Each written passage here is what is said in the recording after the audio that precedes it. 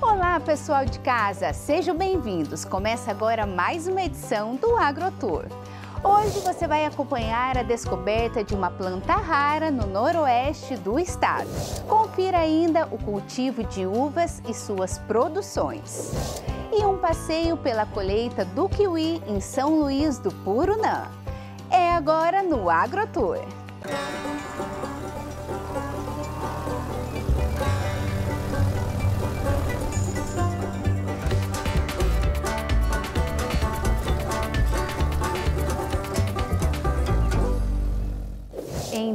Tuneiras do Oeste, uma planta ancestral foi descoberta por pesquisadores. Segundo eles, uma evidência de que um dia existiu cerrado na região noroeste do estado.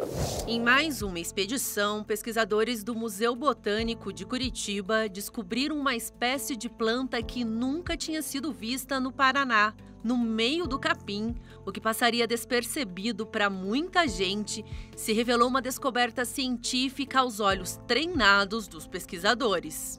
No ano de 2018, eu estava com meu colega Heraldo Barbosa, numa região lá do noroeste do Paraná, atrás de plantas para plantar aqui no Jardim Botânico de Curitiba e também para colocar aqui na coleção científica do Museu Botânico.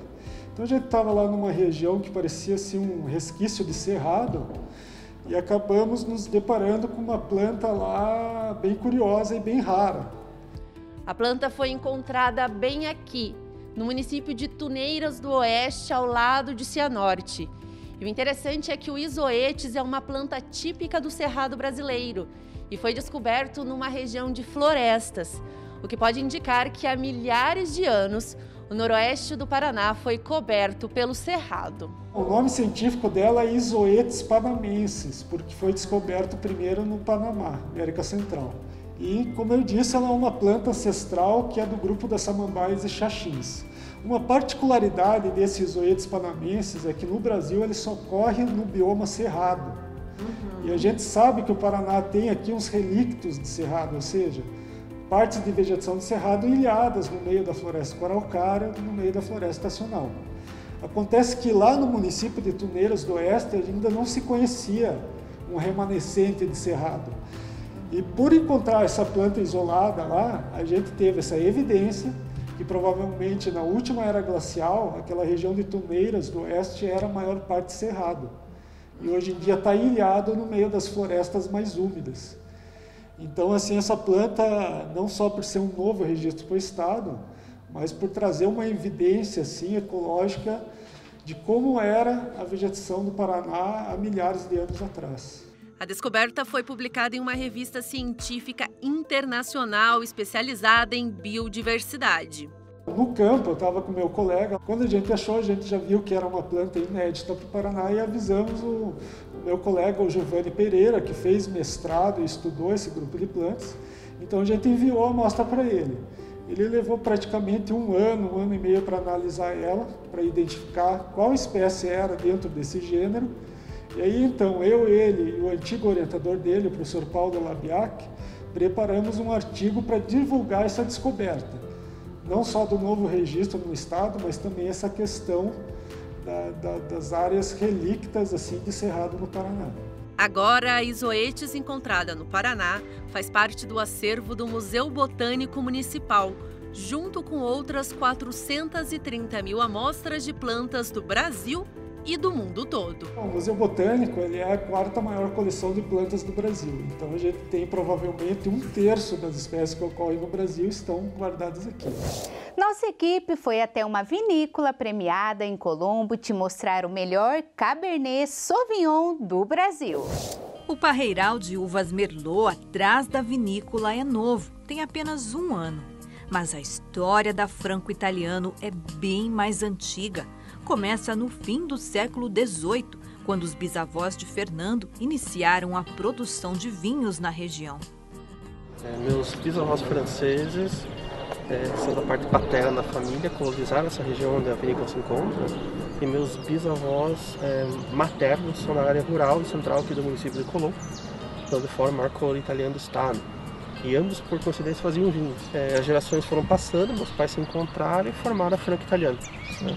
E assim a gente manteve os dois vinhedos, as duas localidades, uma aqui na Sanidade, outra na, na parte italiana, e continuamos produzindo os vinhos, né? sempre com foco na produção de vinhos de mesa. Né? E depois é, meus pais continuaram, né? e a minha geração também é, foi indo tentando evoluir a linha de vinho. A maior parte das uvas usadas aqui para a fabricação de vinhos e de espumantes vem de famílias parceiras dos estados da região sul.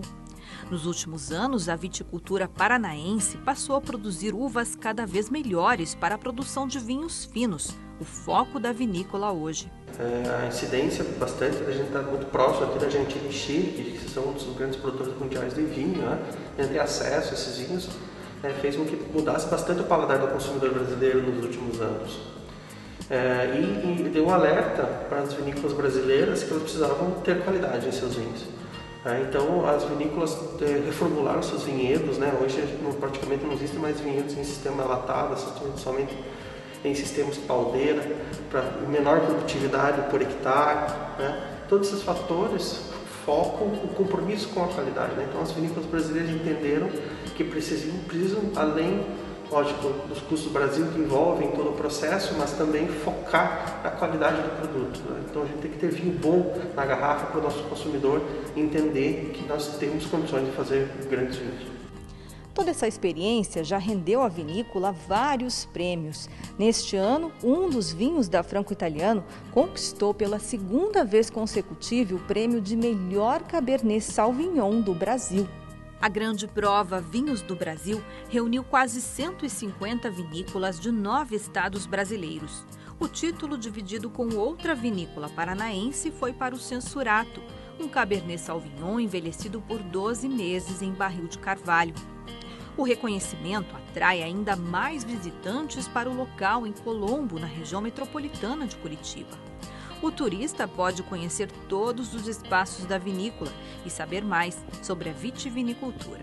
Então, a vinícola fritana é aberta diariamente né, para receber os turistas aqui, para conhecer nossas instalações e degustar alguns vinhos conosco. Né? Nós temos hoje à disposição as visitas guiadas, né, que é só solicitar aqui na vinícola, e também algumas degustações e um jardim que a gente abriu para que as pessoas possam degustar alguns vinhos. E também dentro da região metropolitana aqui nós temos o roteiro dos vinhos finos aqui, né?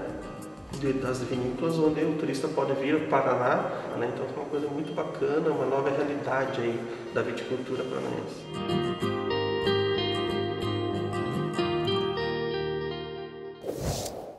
E vamos agora para um pequeno intervalo e já voltamos.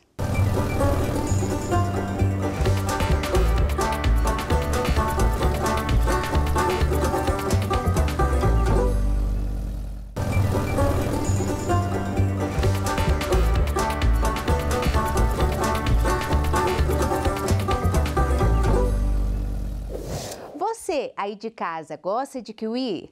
A fruta oriunda da China é rica em vitaminas e proteínas, além de prevenir doenças cardiovasculares. Nossa equipe foi acompanhar a colheita em São Luís do Purunã. No horário marcado, o ônibus sai do estacionamento do Sesc da Esquina em Curitiba, rumo a mais um passeio turístico. O destino, o distrito de São Luís do Purunã, no município de Balsa Nova, região dos Campos Gerais. O trajeto tem cerca de 50 quilômetros em menos de uma hora. O grupo de 10 pessoas chega à chácara Kiwi da Serra, que possui 15 hectares cultivados da fruta. A gente começou há cinco anos atrás, né? Então, como, é, como primeiramente numa parceria com as pousadas da região e, e experienciar essa, essa colheita do kiwi, né? Então aqui na região a gente é o, o único produtor de kiwi, né, na região de Balsa Nova. E deu muito certo, desde a primeira, do primeiro ano em que a gente abriu, né, sempre tem aumentado o número de visitas aqui conosco, né. O passeio pela propriedade dura cerca de duas horas em um trajeto de dois quilômetros, cercado pela beleza da mata nativa. No meio da serra e a mil metros de altitude, o turista conhece um pouco mais sobre essa fruta exótica de origem chinesa. As pessoas, quando terminam o passeio, elas ficam extremamente satisfeitas, porque além de terem passado um dia atípico em meio da natureza e desse espetáculo de plantação de kiwi, elas ainda saem com um brinde, de, com uma caixa de 5 quilos de kiwi, kiwi para comerem na, no momento ou levarem para casa. Então é uma satisfação muito grande. As visitas aos pomares de kiwi acontecem somente na época da colheita da fruta, entre os meses de março a maio, todos os anos. Os proprietários aqui da chácara resolveram abrir local para visitação em 2016. Foi quando começaram a chegar os primeiros turistas. E eles vêm daqui de perto mesmo, de Campo Largo, Ponta Grossa, Curitiba. O que tem tudo a ver com o momento que estamos vivendo. Por causa da pandemia, as pessoas têm optado por fazer turismo perto de casa e em locais ao ar livre. Principalmente os lugares próximos e ambientes que você tenha contato com a natureza. O turismo rural é o maior exemplo disso. No Paraná, é, nós temos é, uma gama imensa de opções de turismo rural. No meio do caminho, uma parada para água na companhia de três simpáticos cavalos.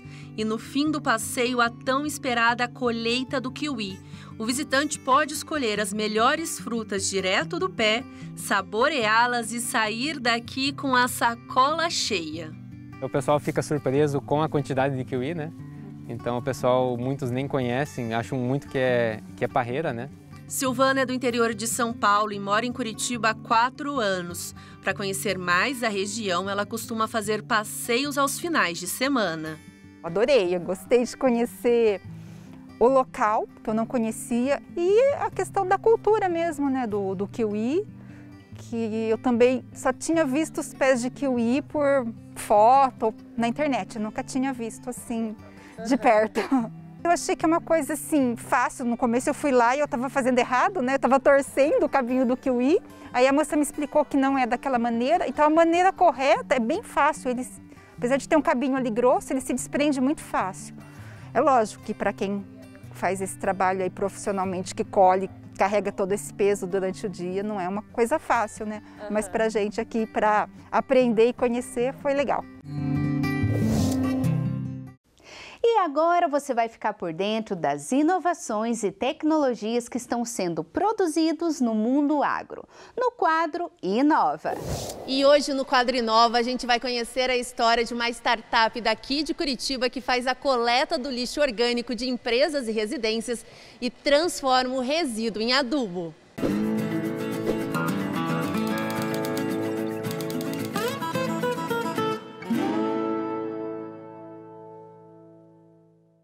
Estes dois jovens engenheiros encontraram na compostagem uma forma de trabalho com propósito. Hoje eles atendem empresas e famílias de Curitiba e região com serviço de coleta e transformação do resíduo em adubo. A gente realiza a coleta desses resíduos que as pessoas ali juntam, acumulam né, durante a semana ou durante períodos mais curtos ali. A gente acaba trazendo os resíduos aqui hoje para o nosso galpão, é, realiza o transbordo e acaba levando ele para ser compostado no nosso pátio e aí a gente transforma hoje todo esse resíduo em adubo. Né? É um processo que ele é feito através da decomposição né, da matéria orgânica com fungos e bactérias. Então, através desse processo, a gente consegue reduzir a emissão de, de gás metano no planeta quem topa participar do processo e se responsabilizar pelo destino do lixo que gera, recebe em casa um baldinho e uma sacola à base de mandioca para poder separar e fazer a destinação correta dos resíduos. As empresas que entram na onda também contribuem com o planeta e ainda economizam. Uma vez por semana, a gente passa na casa do cliente coletar o resíduo orgânico. E a gente também atende as empresas, né? As empresas é um pouquinho diferente. Gente deixa as bombonas na, de 50 litros nos clientes e daí o plano é bem específico, né? A gente atende pequenos clientes, como cafés, até hospitais e indústrias que vão precisar de bastante bombonas. A empresa tem pouco mais de dois anos e nesse período já transformou mais de mil toneladas de lixo orgânico em adubo e evitou o uso de um milhão de sacolas a partir de uma nova metodologia de coleta do lixo orgânico que não utiliza sacos plásticos. E quem contribui com o meio ambiente, é claro, merece ser recompensado. Todos os meses, os clientes ganham mudinhas de hortaliças ou um pacote de adubo orgânico. E a gente também entrega essas mudinhas como forma do, de todo mundo conseguir enxergar que esse resíduo ele vai para o baldinho, ele, ele vai para o lixo, né, entre aspas, e aí ele é reciclado, então ele volta como uma forma de alimento para mim. A startup já emprega 17 funcionários e atende 650 residências e 150 empresas de Curitiba e região metropolitana. Mas esses jovens engenheiros querem chegar ainda mais longe. E a gente visa aí em cinco anos ser a maior empresa de coleta e compostagem de resíduos orgânicos do Brasil. Se despede por hoje, mas você pode continuar nos acompanhando no YouTube. O endereço eletrônico é esse que aparece na sua tela. Obrigada pela sua companhia e nos encontraremos no próximo programa. Até lá!